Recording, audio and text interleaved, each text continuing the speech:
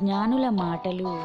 మూలుకోలలతో సమానం ప్రసంగి గ్రంథం పన్నెండవ అధ్యాయం పదకొండవ వచనం